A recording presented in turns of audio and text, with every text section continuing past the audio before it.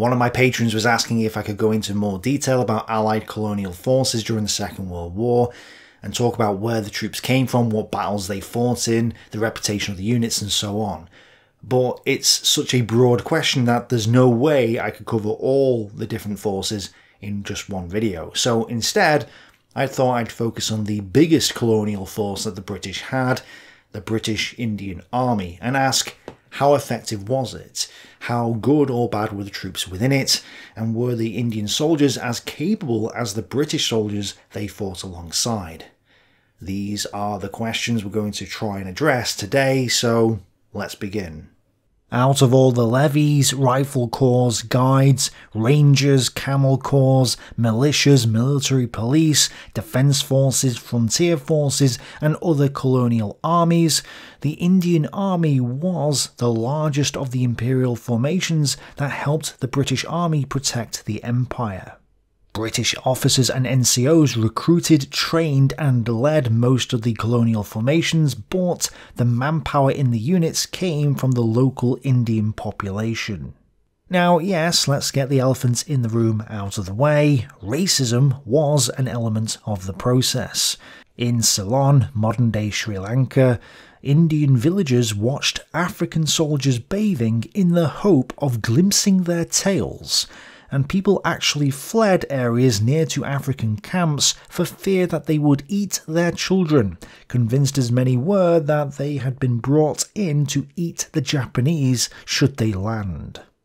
I decided to place this quote here because I wanted to show you that it wasn't just the British who were racist at this time. The Indians were just as racist as the British were. But you see, there's two competing narratives here, isn't there, Whoopi? One which says only white skinned unhumans can be racists, and that the only reason these whites conquered India and Africa was because they wanted to enslave non whites, and that this is all a racial war between social racial groups. While the other narrative is that the reason the British went to India was because they wanted to be rich and that when they got there, they decided to conquer the place because that made economic sense.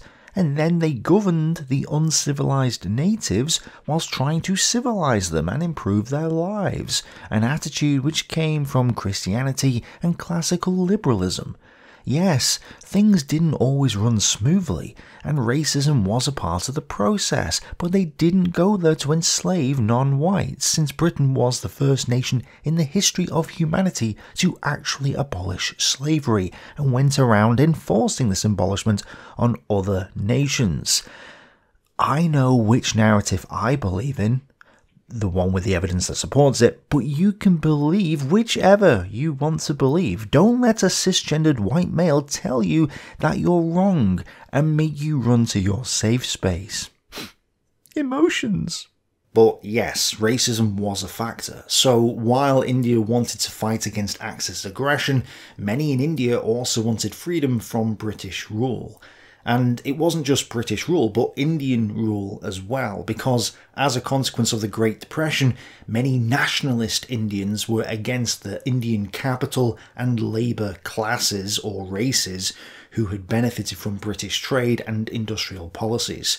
So there was an intra racial conflict going on here as well. In September 1939, Gandhi argued that Indians should cooperate with the British during the Second World War because he believed that the British could be negotiated with and believed that the war would destroy imperialism. Others, though, believed a more militant stance with Britain was in order. One Indian nationalist leader close to Gandhi in 1939 but split with him a year later was Subhas Chandra Bose, who refused to cooperate with the British. He called for a synthesis between fascism and communism. Later in the war, Bose went on to help found the Indian Legion in Germany, then led the Indian National Army in Japan, where he also founded the provincial government of India. And Bose was killed trying to escape to the Soviet Union in 1945. So I'll let the fascists and the communists excuse their way out of that one. But all this leads us to a question. Why would ordinary Indians want to fight for the racist British? They weren't drafted, the British Indian Army was a volunteer force, so Indians willingly took up arms for the British. But why? Well, there were several reasons. Some were unemployed looking for a job, others joined up for king and country, others wanted to escape the inflation as well as the food shortages that occurred in India during the war, more wanted to learn valuable skills, becoming signalmen and mechanics, which would place them above the competition after the war. But the general consensus is that most of these recruits joined up for personal gain rather than for patriotism. This was a bad thing, as it shows that the Indians weren't really passionate about fighting for the British or against the Axis there is evidence that the nationalist movement was more attractive to those Indians passionate about the political situation. Nonetheless, the ratio of British officers in the Indian Army fell dramatically, going from 10 to 1 in October 1939 to 4.2 to 1 by January 1945. The British, meanwhile, feared that the Soviets, initially allied with the Germans, might move into and through Afghanistan or send long range bombers to strike targets in India. The northwest frontier of India was therefore under threat. The British knew that they had to use Afghanistan as a buffer state to protect India from Soviet aggression. And when the Axis and Soviets carved up Europe, it looked like the British Empire was on its last legs. Italy entered the war in 1940, so Britain had no choice but to pull out forces from Singapore as well as India, fundamentally weakening her forces in the Far East. The British mistakenly believed that the chance of war with Japan had receded and that the probability of war with the Soviet Union had increased. Seeing British weakness, the Afghans also sided with the Soviets, refusing British arms while signing a trade agreement with the Soviet Union in July 1940. This, ironically, actually confirmed to the British that the Soviets weren't intending to invade India via Afghanistan. But that didn't stop them agitating. The communists in India were on the side of the Axis Soviet Pact, and they promoted civil disobedience, national strikes, and a policy of no rent and no tax. This was all designed to impact British capitalism in India. But then they completely changed their tune when the Axis invaded the Soviet Union. Overnight, they suddenly became supporters of India's war with the Axis, proving that they have no spine. Yes, Marxists now joined in to help capitalism. What a joke. But going back a little bit, when the German blitzkrieg overcame France, there was some panic in India with heavy withdrawals being made from the banks, and the general fear was that India might be attacked. Gandhi had to make a statement telling Indians not to withdraw their deposits. Your metal buried underground or in your treasure chests need not be considered safer than in banks or in paper if anarchy overtakes us. That's bad advice there by Gandhi, and most Indians seem to ignore it.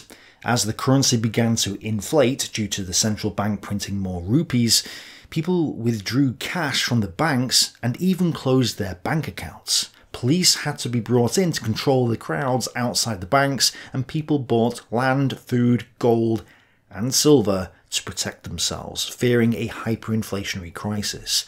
Later, people fled from eastern India, thinking that the Japanese were coming, leading to labour shortages, a fall in rental income in the cities, and an increase in rental income in the smaller towns and villages, plus a outbreak of cholera. At the height of the panic in early April 1942, over 55,000 workers, almost 25% of the total industrial workforce in Bombay, were reported absent. No fewer than six special trains were running every day to cope with the exodus.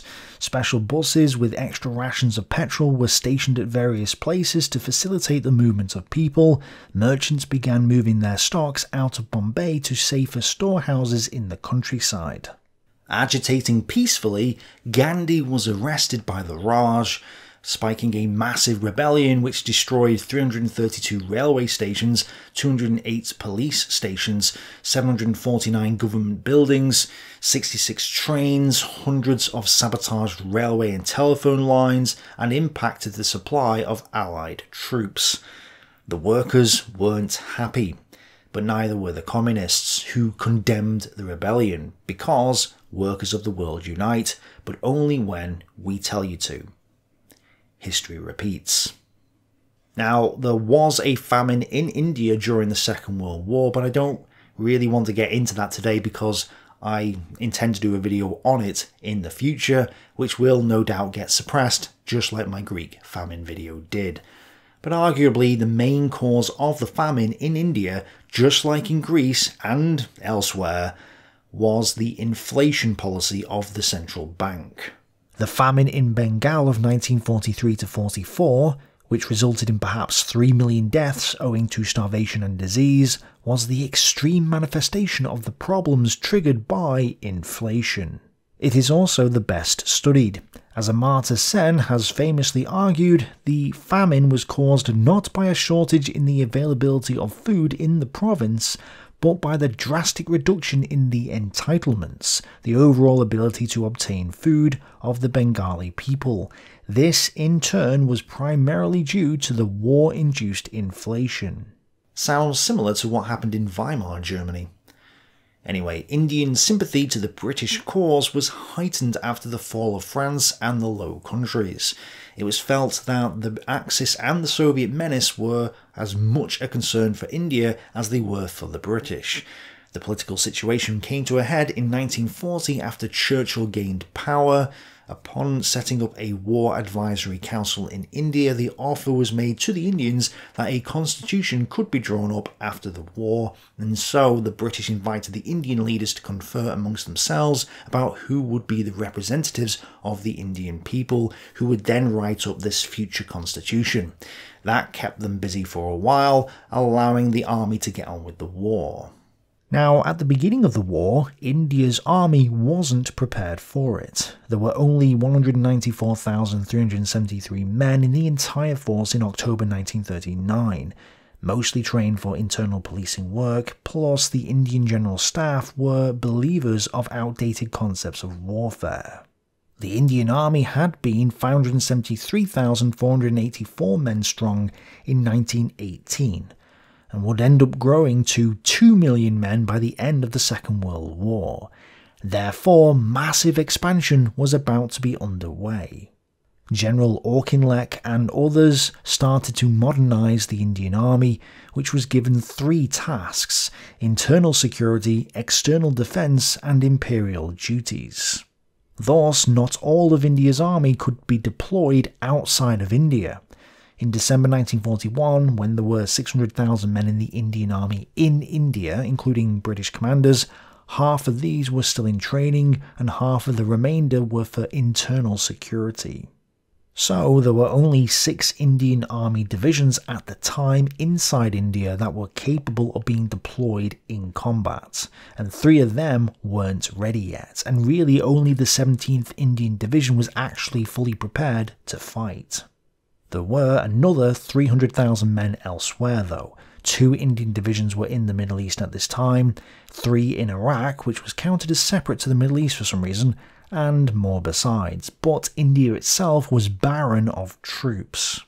At the start of the war, there were only eight anti aircraft guns in the whole of India, and no fighter aircraft at all. Signals equipment was scarce, and while India did supply the men, its relatively small industrial base was incapable of supplying the equipment for them. So Britain had to supply the equipment, which wasn't great because Britain itself didn't have much equipment to spare. Plus, getting that equipment to India wasn't easy. As a consequence, the forces raised in India and sent abroad were chronically under-equipped and reliant on all manner of patchwork solutions. Thus, the 4th and 5th Indian Divisions deployed in the Middle East, tank country par excellence, did not have the requisite complement of anti-tank regiments. Even in March 1942, there were only two fighter squadrons in eastern India equipped with Hawker Audax biplanes. Calcutta was completely defenceless. But reinforcements were being moved to India, including the 70th British Division, which barely arrived in time to plug the gap after Burma fell to the Japanese. By September 1942, the Eastern Army had one British and five Indian divisions and a tank brigade equipped with Valentine tanks. But the British were running out of Indians to recruit. India was divided into classes or races, and the martial class or martial race was rapidly depleted thanks to the expansion of the army, so the British had no choice but to recruit from other classes. Even though the Punjab and the Pathans of the northwest frontier province were just 7% of the total population, they'd been over 48% of the army prior to 1939, with the Punjab accounting for the vast majority of that. Sikhs provided 17.5% of the army despite only being 1.4% of the population, and the Muslims provided 34% of the army from 23.5% of the population. The other 32% of the population, all of which was Hindu, provided just 3.7% of the manpower for the army. This, of course, changed during the Second World War. Massive new numbers came from southern India and from Bengal, which hadn't had any representation in the army prior to 1939. The traditional recruiting classes still contributed the most and had the highest proportion for the size of their populations, with the British continuing to use the martial classes on the front line, relegating the non-martial classes to support and rear services roles, but a shift had occurred. Expansion meant that a large number of the new Indian troops had little basic training, in direct contrast to the professional Indian army of the pre 1939 period. By December 1942, there were two British and six Indian divisions, while one Indian Armoured Division and five Indian Infantry divisions were in the Middle East. More divisions were being recruited though, and at the end of 1942, the Indian Army stood at 1,550,000 men strong. It was then decided to sort out the equipment shortage, and from early 1943, shipments were increased so that by the end of the year, and certainly by mid 1944, they had made up for their shortfall. Most British officers in the Indian Army started their career by attending the Royal Military College at Sandhurst. Thus, they were as well trained as any other officer in the British Army. Many wanted to go to India for adventure or more responsibility, but only the top 60 officers who passed at Sandhurst could apply to go to India, so competition was fierce and only the best officers got to go. In addition, Indian officers were trained at the Indian Military Academy at Dehradun and were considered to be better trained officers than their British contemporaries because the British put their best officers in charge of that school. Again, this was due to Indianization and the idea of civilizing the colonies. The 4th Indian Division ended up in Africa in 1940 fighting the Italians along with the British. I've already done a documentary on Operation Compass, so it's probably best just to watch that if you want to get the details. But the British force under General O'Connor had just two divisions. The first was the 7th Armoured Division, the Desert Rats, and the other was the 4th Indian Division. These two divisions, totaling 31,000 men, immediately faced six Italian divisions and then more divisions behind the lines for a total of 150,000 men.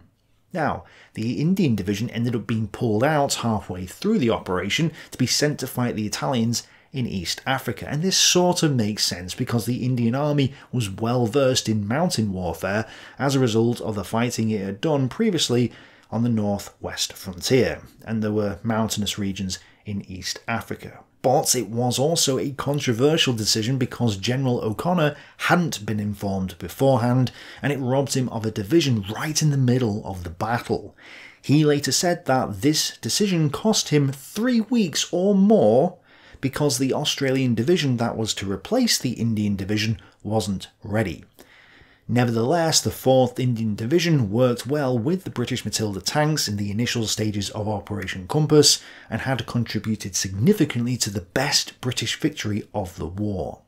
The results of the battle speak for themselves a British force of never more than two divisions, one of them armoured, with a proportion of corps troops, advanced 500 strenuous miles and totally destroyed an army of 10 divisions for a loss of 500 killed, 1,373 wounded, and 55 missing. The captures were 130,000 prisoners, 180 medium tanks, and more than 200 light, and 845 guns of the size of field guns and above.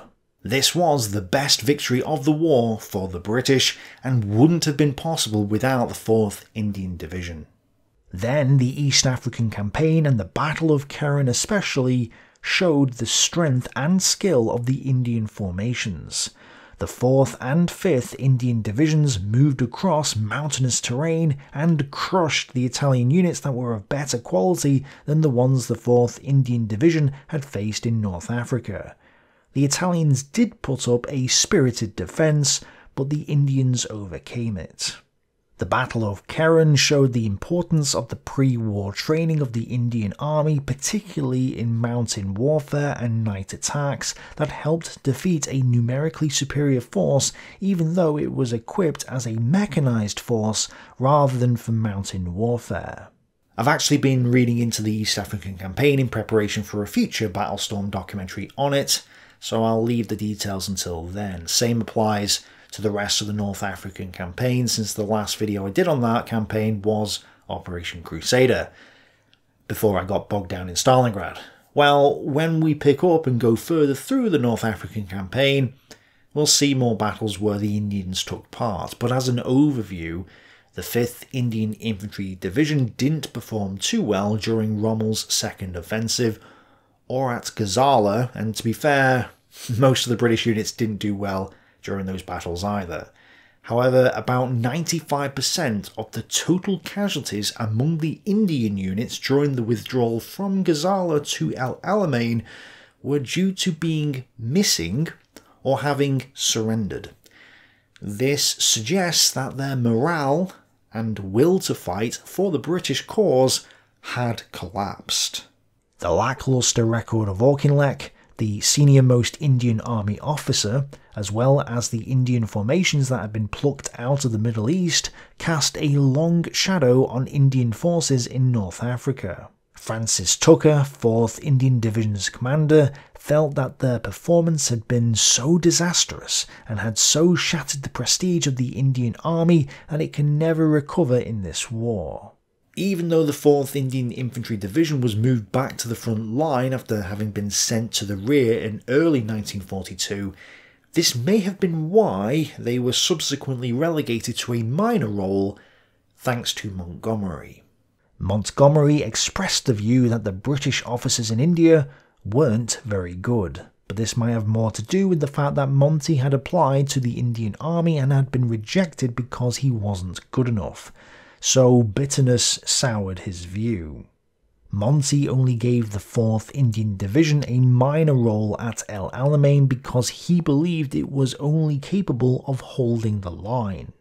The exception was the 5th Indian Infantry Brigade, which was given to 51st Highland Division and contributed significantly to Operation Supercharge. General Tucker, though, knew that he had to restore the name of the 4th Indian Division and told his troops that at the time. I've told my chaps they're to fight as if 4th Division had no name at all and was starting now to make it. I've absolute faith in them. It appeared to those at the time that Monty only viewed the Indian troops as worthy of garrison duty or second line troops, which is why he left them behind at El Alamein to clear up the battlefield once the battle was over. I'm not sure if this was purely because of his perception of the failure of Auchinleck and the 5th Indian Division's poor performance previously, and his inability to get into the British Indian Army in the first place, or if this has to do with prejudice and racism. This is something I need to look into in the future when I get to it in the Battlestorm series. But the fact is that the 4th Indian Division was a very experienced division and was well suited for desert warfare. So after his men were left to clear the battlefield of debris, Tucker complained to Brian Horrocks, his corps commander, saying that his men weren't being given the proper role they deserved. Horrocks passed up the complaints to Monty, who ignored them. Later in March 1943, when the Axis decided to hold the Mareth Line, 4th Indian Division was finally given a major role in a battle under Montgomery. But at first, its two brigades, the 5th and 7th, since the 11th had been previously destroyed, were split up and sent to different units. So Tucker complained to Horrocks again, offering his resignation and stating that it was pointless having a division commander if there was no division to command. Tucker ended up having tea with Montgomery himself, who finally allowed the mountain trained 4th Infantry Indian Division a chance to concentrate for an attack. The Mareth line was the first time since El Alamein that the British would have to face a determined enemy force. After one initial engagement, the Axis line fell back to the Wadi Akarit line. This was a natural defensive position, but wasn't fully prepared by the Axis at this point, so there was a chance for the British to take it. Monty drew up the attack plans, but Tucker and Wimberley, 51st Highland Division's commander, weren't impressed by the plans at all. So Tucker suggested a different plan, which Monty accepted, although stated to a staff officer that he didn't like it when people disagreed with him. Monty has got a bad reputation in the eyes of many, while others hold him up in high regard. I'm reserving my judgment of him until I've gotten further into the Battlestorm North African campaign series. But I think it's worth remembering that the British had previously suffered major defeats when facing the Axis in North Africa, and Monty's tactics had seemingly changed things around. The 4th Indian Division, though, and its commander weren't in agreement with the new ideas. Montgomery had transformed the Eighth Army from a shaken and dejected force into one with strong cohesion and morale. This was because it had begun to win its battles. Montgomery had achieved this by adopting the methodical set-piece battle, relying on attritional firepower and careful movement rather than dashing manoeuvre. This, more or less, served the Eighth Army well, as the string of defeats had ceased for good. Most of its formations adopted and adapted to this approach and largely prospered. However, Montgomery's approach never really sat well with 4th Indian Division. The 4th Indian Division was trained for mountain and manoeuvre warfare as well as nighttime attacks, so even though this was meant to have been a set piece battle, the 4th Indian Division attacked earlier than the other units, moving under the cover of darkness to surprise the enemy. Lovett's 7th Indian Infantry Brigade snuck up to the Italian Pistoia Division's lines and the Gurkhas charged. Numerous positions and prisoners were taken, a Victoria Cross was won, and a five mile gap had opened up in the Axis lines. The rest of the British infantry forces then attacked later, but the British armour failed to bring up their armour, and thus the victory that the Indians had won was lost. There's a debate as to why the British armour didn't materialise. It could have been because of Axis attacks, miscommunications, congestion on the poor roads in the area, a few 88mm guns that prevented the tanks from moving forward, or Montgomery wanting to fight a set piece battle the next day rather than exploit the gap now. Whatever the reason though, the point is that the Indian 4th Division's troops had performed exceptionally well and were well versed in both nighttime attacks and mountainous warfare. The Battle of Wadi Akarit of 6th of April 1943 was probably 4th Indian Division's finest hour using bold and, by 8th Army standards, innovative tactics, they smashed the Italian division in front of them, tearing a 5 mile hole in the Axis line.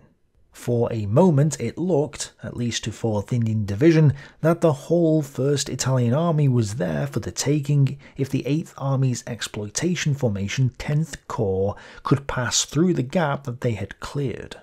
10th Corps never did, and therefore the Italian slash German army withdrew from the Akaritz position in good order to fight another day. Thus, the battle is little known.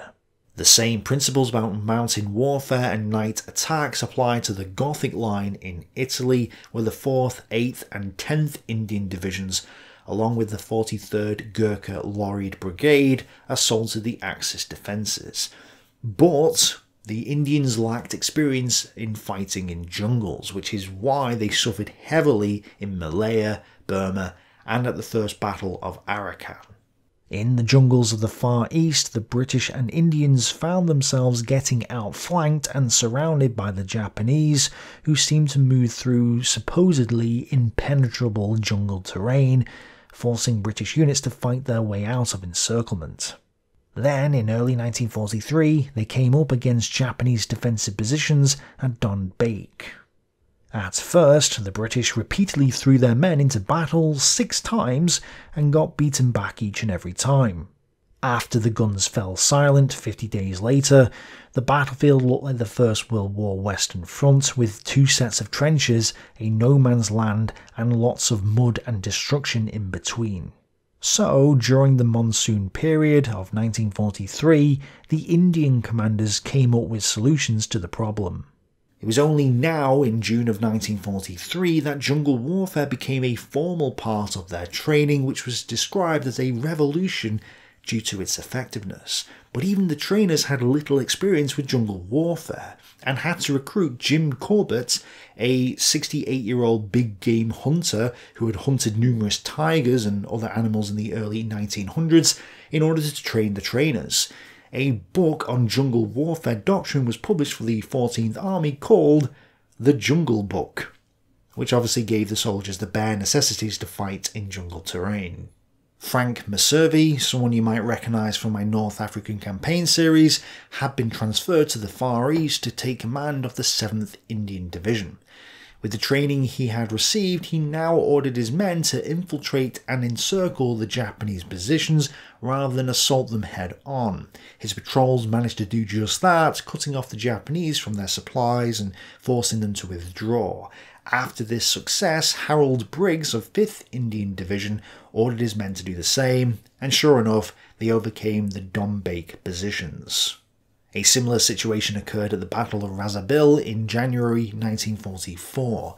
The British attempted frontal attacks, failed, then decided to use a more indirect approach. At the Second Battle of Razabil in March 1944, the 5th Indian Division sent one brigade to simulate another frontal assault, but sent the other through the jungle and outflanked the Japanese positions, capturing Razabil Fortress.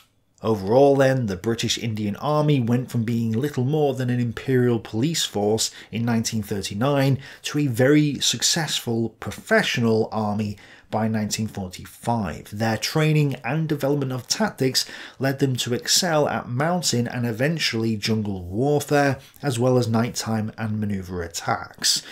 They fought and helped to overcome the Italians, the Germans, and the Japanese. So, while some might class this as a colonial army, the frontline Indian infantry divisions proved themselves equal to, or indeed better than, many of the British divisions at the time, and Indian soldiers were as capable as any other British or Commonwealth soldiers of the war.